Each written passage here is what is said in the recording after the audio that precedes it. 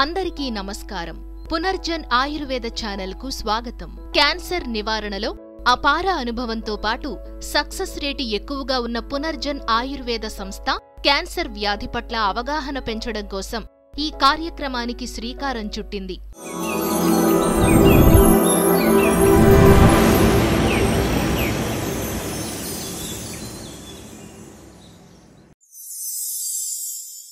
Cancer మహమ్మారి పేరు వినగానే ఒక రకమైన మృత్యుఘోష వినిపిస్తుంటుంది. క్యాన్సర్ రావడమంటే తేదీ తెలియని తుదిఘట్టానికి సిద్ధపడటమే అని చెబుతుంటారు. కానీ కాలక్రమేణా మనిషి జీవన విధానంలో మార్పుతో పాటు వైద్య రంగంలో చోటు చేసుకున్న విప్లవాత్మక మార్పులు జతకలిసి క్యాన్సర్ వ్యాధికి మెరుగైన చికిత్సలు అందుబాటులోకి వచ్చాయి.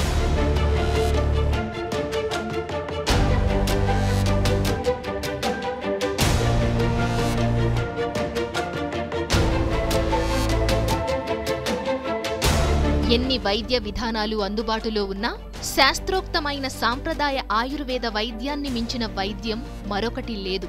ప్రకృతి సంపదైన ఆయుర్వేదం అనాదిగా ఎలాంటి వ్యాధికైనా శాశ్వత పరిష్కారం చూపుతూనే ఉంది. క్యాన్సర్ వ్యాధిని సైతం కూకటి వేళ్ళతో పెకిలించగల శక్తి ఒక్క ఆయుర్వేదానికే ఉందని చెప్పడం అతిశయోక్తి కాదు.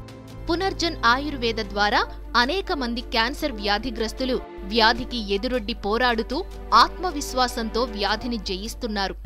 ఆయుర్వేదంలో ప్రత్యేకించి క్యాన్సర్ చికిత్సలకు ఎన్నో మూలికలు ఈ రోజున అందుబాటులో ఉన్నాయి. ఇందులో కనీసం రెండు వందల మూలికలు క్యాన్సర్ కణాలపై అద్భుతంగా పోరాడే శక్తి కలిగి ఉన్నాయి ఈ రోజున.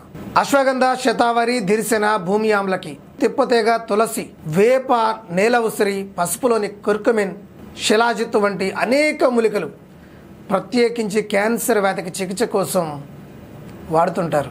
దైవ వైద్యంగా చెప్పబడే రసాయన వైద్యంలో రసభస్మాలతో తయారు చేసిన మందులు క్యాన్సర్ మూలాలపై అద్భుతంగా పనిచేస్తాయి.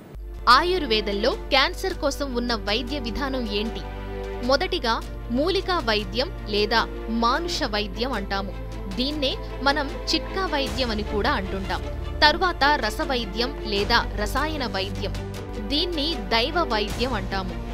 సిద్ధ వైద్యం రాక్షస వైద్యం ఇలా కొన్ని రకాలు ఉన్నాయి. కానీ వీటన్నిటిలో రసాయన వైద్యం ఒక్కటే క్యాన్సర్ వ్యాధికి సరైన పరిష్కారమని చెప్పవచ్చు. ఎప్పుడైతే రోగి శరీరంలో రోగ నిరోధక శక్తి ఉత్తేజమవుతుందో రోగాలు దరి చేరకుండా ఉంటాయి ఆ రోజున. ఇమ్యూనిటీ బూస్టర్ చేయడానికి ఇప్పుడు అందుబాటులో ఉన్నటువంటి అన్ని వైద్యాల కన్నా రసభస్మాలతో కూడిన ఆయుర్వేద వైద్యం అత్యుత్తమమైనది. అందుకే ఈ రసాయన ఆయుర్వేద వైద్యాన్ని దైవ వైద్యం అంటారు. రసాయన ఆయుర్వేద వైద్యంలో క్యాన్సర్ వ్యాధితో పాటు ఇంకా చాలా రకాల అరిష్టాలకు చికిత్సలు ఉన్నాయి. ఇదే రసాయన ఆయుర్వేదం వైద్యంతో క్యాన్సర్ ఎంత తీవ్రంగా ఉన్నా ఏ స్టేజ్లో ఉన్నా చక్కటి రసౌషధాలతో చికిత్స చేసి అసాధారణ ఫలితాలను సాధిస్తుంది పునర్జయన ఆయుర్వేద. మీకు ఒక చిన్న ఉదాహరణ చెప్తాను. మా వద్దకు వచ్చే వారిలో ఎక్కువ మంది క్యాన్సర్ బాగా ముదిరిపోయిన దశలోనే వస్తూ ఉంటారు. మూడు నాలుగు స్టేజ్లో ఉన్నటువంటి క్యాన్సర్ బాధితులు ఎక్కువ మంది మా మందులు వాడుతూ ఉంటారు. వారిలో చాలామందికి క్యాన్సర్ ట్రీట్మెంట్ ఇస్తూనే మందుల ద్వారా మరియు ఆహారం ద్వారా రో- మేము రోగ నిరోధక శక్తిని పెంచే ప్రయత్నం చేస్తూ ఉంటాం.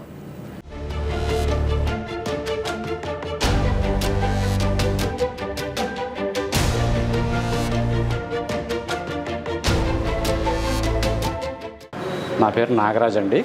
కృష్ణా జిల్లా మచిలీపట్నం దగ్గర నందమూరు నుంచి వచ్చామండి పేషెంట్ పేరు బి దుర్గమ్మ గారండి. అమ్మమ్మ గారు అవుతారు. జనవరి లాస్ట్ మంత్ ఇక్కడికి రావడం జరిగింది. అంతకుముందు ఒక ప్రైవేట్ హాస్పిటల్లో చిన్న సర్జరీ చేస్తే మెలినోమియా లెఫ్ట్ లెగ్ క్యాన్సర్ అని చెప్పారు. అది కాలు కూడా ప్రమాదం అని చెప్పారు. సోషల్ మీడియా ద్వారా ఫ్రెండ్ ద్వారా ఇక్కడికి రావడం జరిగింది. ఆ తర్వాత ఫ్రీ మెడిసిన్ తీసుకున్నాము. ఫ్రీ మెడిసిన్ తీసుకున్న తర్వాత నుంచి తర్వాత కంటిన్యూగా మెడిసిన్ వాడటం జరిగింది. పేషెంట్ అయితే బాగానే ఉన్నారు. మెడిసిన్స్ ఇప్పటికి త్రీ మంత్స్ వాడామండి. ఫోర్త్ మంత్ తీసుకోవడానికి వచ్చామండి వాడకముందు పేషెంట్ కండిషను లెఫ్ట్ లెగ్కి ఆపరేషన్ జరిగిందండి. వాడిన తర్వాత మొత్తం క్యూర్ అయింది. ఇప్పుడు పేషెంట్ బాగున్నారండి. మెడిసిన్ వాడటం జరిగిన తర్వాత నుంచి ఆవిడకి ఎలాంటి సైడ్ ఎఫెక్ట్స్ లేవండి. అంతా ఫ్రీగా ఉన్నారు. నడవగలుగుతున్నారు. ఆపరేషన్ చేసిన కాలు కూడా ఫ్రీగా ఉంది బాగుంది. ఎలాంటి ఎఫెక్ట్ ఏమీ లేదండి. చూశారు కదండి క్యాన్సర్ చికిత్సలో ఆయుర్వేద వైద్యం యొక్క విశిష్టత. ఈ వీడియో కనుక మీకు నచ్చినట్లయితే లైక్ చేయండి. ఏవైనా అనుమానాలుంటే కామెంట్ రూపంలో అడగండి. అవసరంలో ఉన్నవారికి సమాచారం చేరేలా వీడియోని షేర్ చేయండి. క్యాన్సర్ వ్యాధికి సంబంధించిన మరింత సమాచారం కోసం మా ఛానల్ను సబ్స్క్రైబ్ చేసుకోండి. ధన్యవాదాలు.